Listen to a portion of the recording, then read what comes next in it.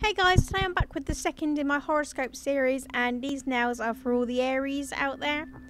So like my Pisces video, I looked up the horoscope colours and Aries are associated with the colours red and orange. So if you want to know I did these, keep watching.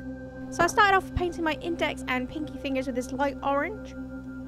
And then with my zodiac plate from Moyou London in 03, I just used a light orange, a medium orange, and a dark red and created a gradient stamp with the fire and stamped that one out.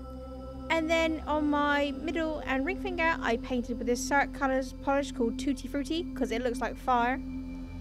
So that same zodiac polish, I just stamped the little Aries in black and stamped that on my nail.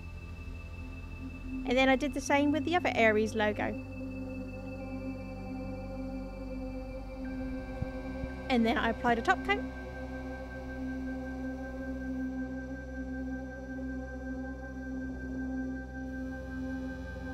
And then my favourite thing to do with flaky polishes is to apply a matte top coat.